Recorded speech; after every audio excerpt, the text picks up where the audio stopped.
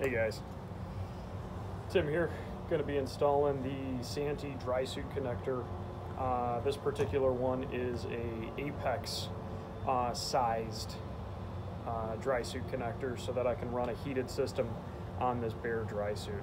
So what we're going to be doing is removing the old valve, putting on the bulkhead, uh, and then passing the cable through uh, and I'll show you how this is done. So we don't need any special tools to do this. I'm just going to have my dry suit connector and my dry suit. So first thing is to remove that uh, Apeks valve. And so if I look on the inside, um, this particular suit has a little connector or uh, pad to protect. Just go ahead and peel that guy back. I'm going to be holding on to the outer rim of the dry suit valve. And with just a little bit of force here, just popping that loose. So valve's off, and my cap is off. Now I can go ahead and take my uh, dry suit connector and looking at the orientation of the suit, I want the um, the wire to pass to my right hand side. So take my dry suit connector, pass it through the hole, have it in that correct orientation. And now I'm going to go ahead and lock it into place by having my backside of the exhaust or inlet valve rather um, sandwich this in.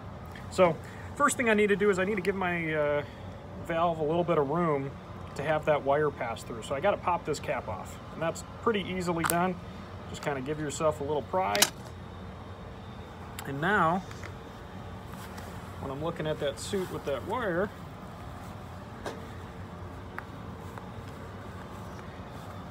I can go ahead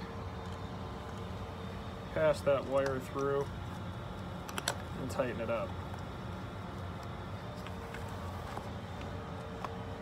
Keeping that orientation the same way I want. Plastic threads, be careful not to cross thread anything.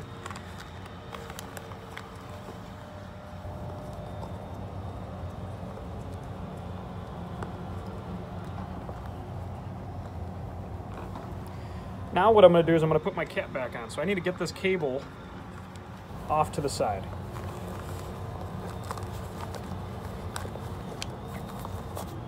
Now I take my cover, press that back into place. And so on the inside of the suit, this is what we've got. We've got our connector and our valve.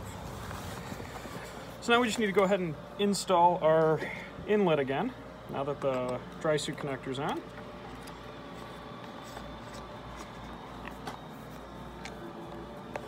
So now I'm going to be holding on to the dry suit connector